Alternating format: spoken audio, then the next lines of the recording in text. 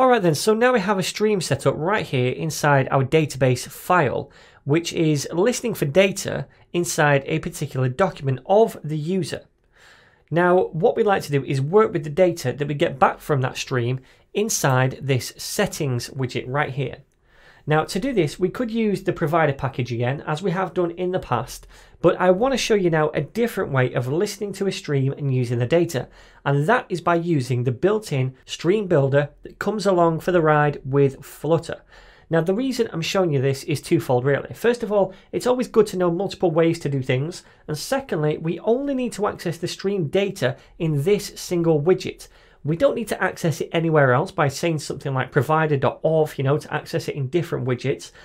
And when that's the case, that we only need to use the stream in one single widget, we can just as easily use the built-in stream builder. Now, you can actually use the stream builder when you need to use the data in multiple widgets in a tree, but it does become a little harder to maintain, having to pass data down from widget to widget, and you could end up with carrier widgets which don't use the data but have to pass it on to a child widget, etc.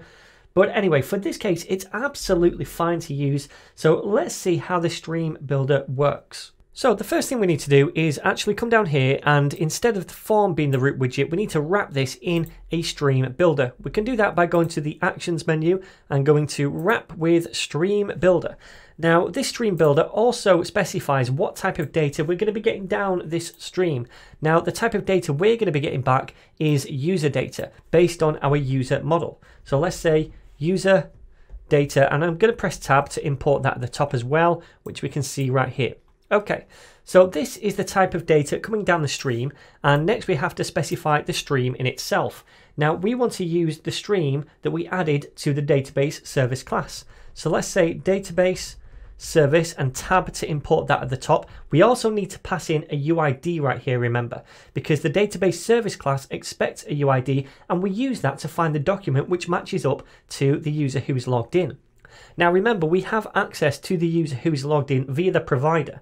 The provider we used inside the wrapper. So if I go over here, we can see that right here we have access to this user in the same way. So let me grab that and go back to the settings form and we can paste it inside this build function right here because we need the context and we also need to import provider. So let me do that at the top. I'm going to import and it's going to be provider. So let me press enter to import that. Okay, so now we have access to the current user logged in and we can access the ID from that user. So let me say now that the UID that we pass into this database service instance is going to be the user.uid. Okay, so we're passing in the ID that matches the current ID of the logged in user. Therefore, when we use the stream to get the user data inside this service class, we can base it on the user's ID and we're going to match that up to the Firestore document for that user. All right, so now we need the stream name, which we called user data. So user data like so. So now we're listening to this stream inside this widget, right? So inside the builder, which is the second property of the stream builder, we get a function, and this function returns a widget tree. Now, before we start using the data inside this function, we actually want to check that we have data coming down the stream. And by the way, this snapshot right here, this is a reference to the data as it comes down the stream. Do not get it mixed up with the snapshot from Firebase. It's nothing to do with Firebase this. It's kind of Flutter's implementation of data coming down a stream. So every time we get some kind of data down the stream, this snapshot refers to it, okay?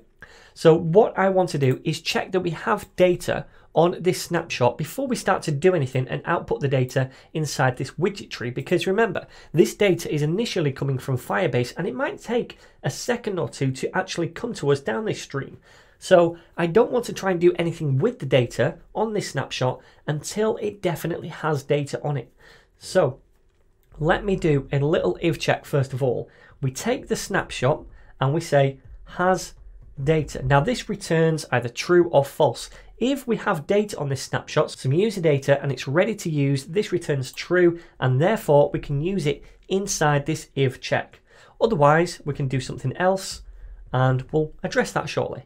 So what I want to do, if this is the case, is return the form because we're going to return the form with a lot of different values embedded in it that we get back from that snapshot. So let me cut that and paste it right here. And now I think we just need to scoot this in. So let me go up to here and press tab to scoot this in. Okay, so if we have data, then we can actually access the data on the snapshot. And we do that by saying snapshot if I can spell it correctly, dot data. Okay, now I'm going to store this inside a variable and the type of variable is going to be a user data object. So that's the type and let's just call it user data and that's equal to the snapshot dot data. So we can reference this now down inside our form to output the data of that user, the data that's currently stored for them. So, you know, like down in these different form fields, we have, for example, a value for the drop down field and initially it's going to be zero because we don't yet have a value for current sugars because they've not changed it yet. But what we could do is change this initial fallback value from zero to whatever is stored in their current user data in the Firestore document. So we can say user data to get this value that we receive down the stream and then say dot and it's going to be the sugars like so. And now if I save this, and come over here. I'm going to refresh and come over here and then I'm going to go to settings and we can see now it's zero sugars. That is actually the default value so it's not changed because right now it's zero sugars anyway. But we can do the same thing for the text form field as well. So we can set an initial value for this. So I'll say initial value and set that to be the user data and then the name property in that. So if I save this now and then we go to settings. We can see now new crew member appears here. So the current value of this awesome. Okay let's do the same thing for this down here where we do the current strength. Remember we use either the value that they've changed it to if it exists but to begin with that's null so we default to 100 instead of defaulting to 100 let's say user data dot strength. And let's do the same thing for the values down here the default value of, or the default color of the active color and the inactive color, okay? So it's going to load the data from the user Firestore document, and when it loads this form, if this doesn't exist, if they've not changed it yet, then it's going to fall back to this value which they are currently set to. Now again, it's not going to change in the form itself because the initial value is the same as what we applied before, 100. But if we go to settings, then we should still see zero sugars and this thing over here, okay? So now we have the default values inside the form. Now what I'm going to do is just load an else case here to be some kind of widget that's going to show a loader and in fact we'll use our current loader so I'm going to say return right here the loader and I'm going to press tab on I can't find it. So let's just say loader and I think it's called loader. Let me just double check. It's called load loading. Okay so let's go to the settings form again and it's called loading. Okay so press tab and it's going to auto import that at the top. So this is the case if there's no data ready yet. I'm going to press save and now if I go to settings, you can see it has loaded already, so it's absolutely fine.